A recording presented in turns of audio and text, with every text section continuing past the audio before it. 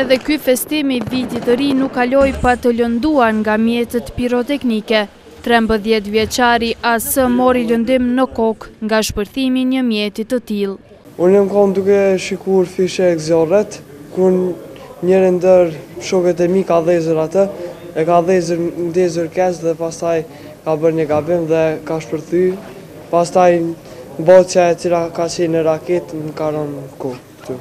Specialisti i mjekësisë emergjente, reanimatori Avdush Bajgora tha se një numër i madh i pacientëve të cilët kanë kërkuar ndihmë kanë pasur lëndime të ekstremiteteve. Gjithsejt, mrena periudhës prej njëzet e katër orëve, në qendrën emergjente kanë kërkuar ndihmë gjithsejt më tepër se njëzet e dy persona të cilët kanë pas fatkeqësi në trafik, nga të cilët njëri ka humbur jetën.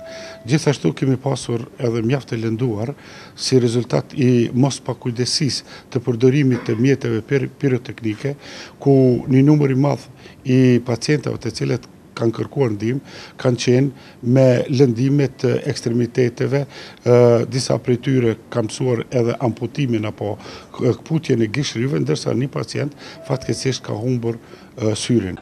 Kurse në policinë e Kosovës thonë se kryeqyteti ishte kryesisht i qetë dhe pa incidente të rënda. Deri me tani domethon ka qenë gjithçka në rregull, Domthon deri në ora domthon 12. Por mas vitit t'ri i kem pesë t'lëndum prej fishekzjarreve, po lëndime t'leta kanë marrë dhe i kem dhe pesë zjarre. Domthon që kanë ra prej fishekzjarreve, domthon gjitha këto kanë qenë me mjete piroteknike.